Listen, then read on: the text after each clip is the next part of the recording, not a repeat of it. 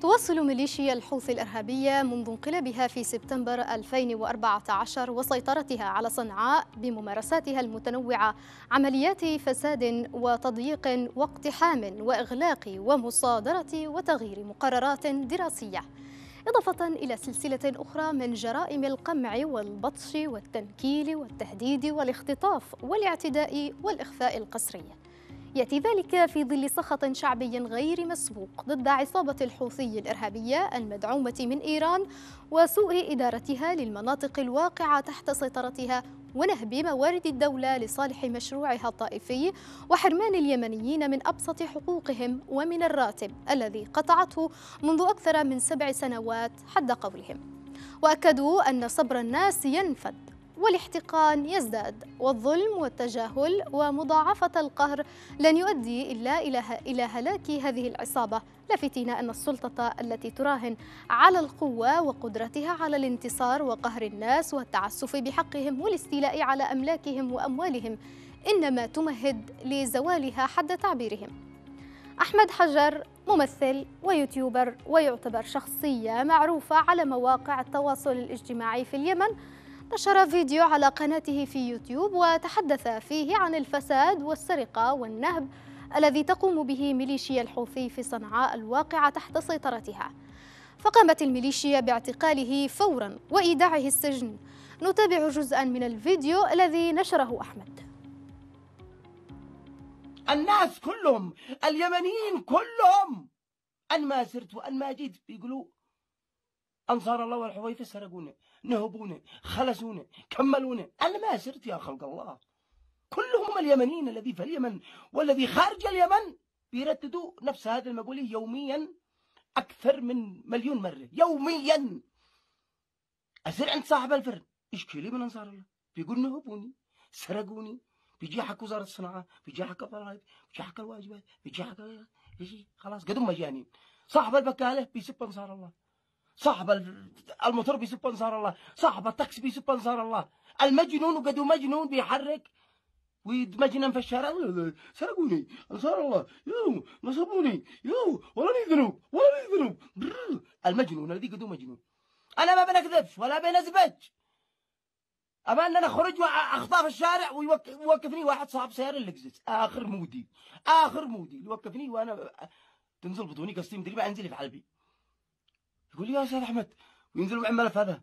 سرقونا نهبونا نصبونا أكلوا ما معي. خلاص شو مني ضرب شو مني جبارك؟ شو مني وأنا أقول من هم يا أخي؟ أنصار الله.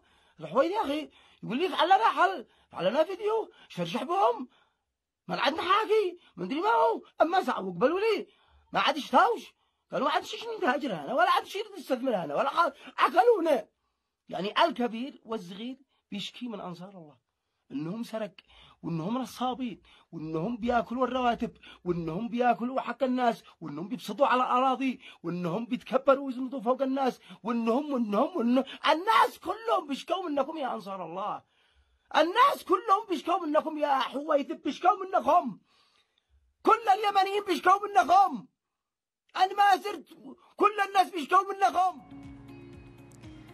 كما تابعتم مشاهدينا هذا المقطع للناشط أحمد حجر والذي قال إن ميليشيا الحوثي تجبر ملايين الناس على الخروج في فعالياتها الطائفية لتضليل الرأي العام بحضانتها بحاضنتها الشعبية بما فيهم الموظفون الذين يتم إجبارهم على الخروج أو مصادرة درجتهم الوظيفية رغم انقطاع مرتباتهم. وقال أيضا إن ميليشية الحوثي تتجاهل عمدا صرخات الجوعة بسبب ارتفاع الأسعار وأنها تلصق التهم بالتجار فضلا عن إنهاء التعليم في مناطق سيطرتها.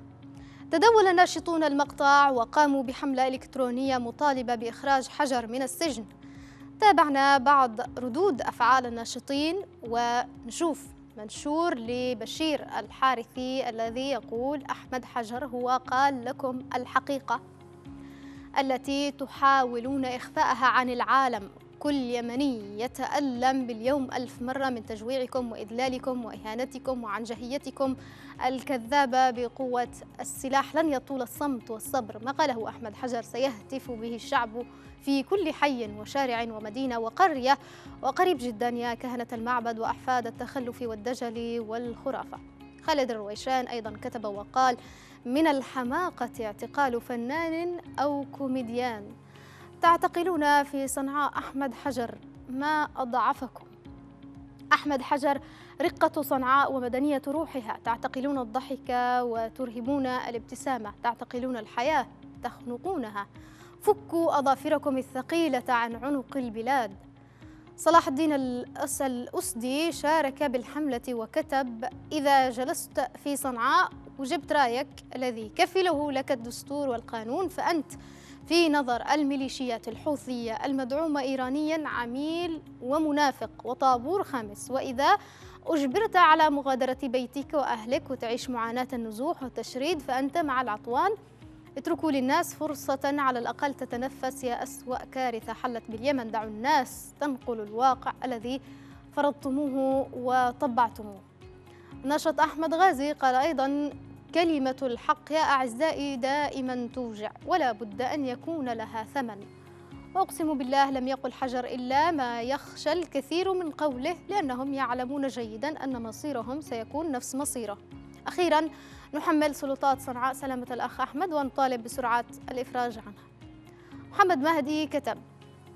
الناشط أحمد حجر تم اعتقاله من قبل الحوثيين في صنعاء بسبب فيديو كشف فيه جزء من الواقع الكارثي في مناطق سيطرتهم ويبين كره الناس لهم ولممارساتهم. ضاقوا بكلمة حق قالها ناشط وأوضعوه السجن ثم يتحدثون عن الشراكة والتعايش. دكتور محمد جميح شارك أيضا وقال أحمد حجر اختطفته أو اختطفه السرق الذين هاجمهم في صنعاء بقوله الشعب سينفجر أنتم سرقتم نهبتم وأكلتم. كل اليمنيين في الداخل والخارج يرددون أنتم سرق الحويثة نهبونا. ونختم بتغريدة لناصر الشليلي الذي قال لأنها ميليشيا إجرامية قائمة على البطش والإرهاب وتكميم الأفواه. الميليشيا السلالية الحوثية تقوم باعتقال الممثل أحمد حجر لنشره مقطع فيديو ينتقد فيه فسادهم الذي صار معلوما لجميع اليمنيين. مشاهدينا نذهب إلى فاصل قصير ونعود